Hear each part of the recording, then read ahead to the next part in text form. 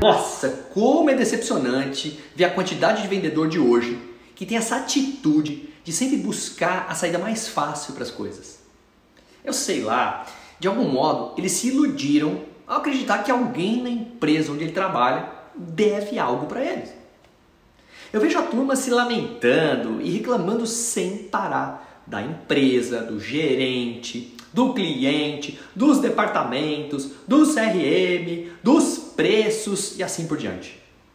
Eis a verdade brutal e que ninguém em vendas te diz. Ninguém deve nada a você.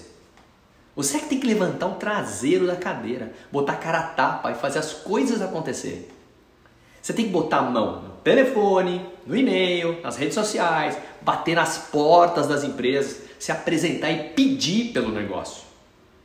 Pessoal, vender não é um trabalho das 8 às 6. Não tem dia de folga, não tem férias, não tem pausinha para almoço. Os grandes vendedores estão pulando refeições e fechando negócios. Eles estão fazendo o que for preciso para vencer. E essa mentalidade é a diferença entre você dirigir uma Mercedes ou um carro popular. É a diferença entre você usar um Rolex do que um reloginho de pulso qualquer. Em vendas, sempre vai ter algo para a gente reclamar. É assim que as coisas são. Sempre vai ter aquela rejeição do cliente, sempre vai ter um trabalho duro para fazer. Você pode ficar sentado reclamando, choramingando, mas acredite em mim, você só está enganando você mesmo.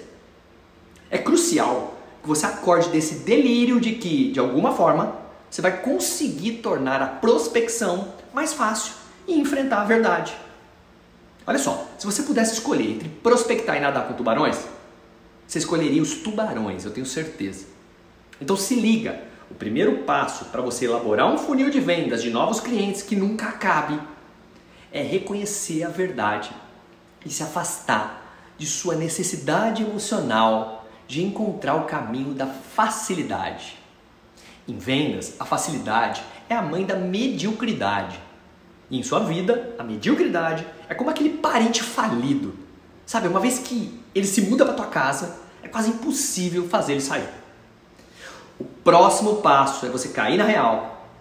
Em vendas, nos negócios, na vida, você vai ter somente três coisas que você pode controlar. E essas coisas são tuas ações, suas reações e a sua mentalidade. É isso mesmo, mais nada. Então, em vez de choramingar por conta das coisas que estão fora do seu controle, foca a tua energia no que você pode controlar. Foca a tua energia nas tuas atitudes, nas tuas escolhas, nos teus objetivos, nas tuas ambições, nos teus sonhos. É isso que você precisa fazer. Para de querer que as coisas sejam mais fáceis e corre lá para desenvolver uma mentalidade de que somente a prospecção poderá te dar a vida que você quer e merece ter.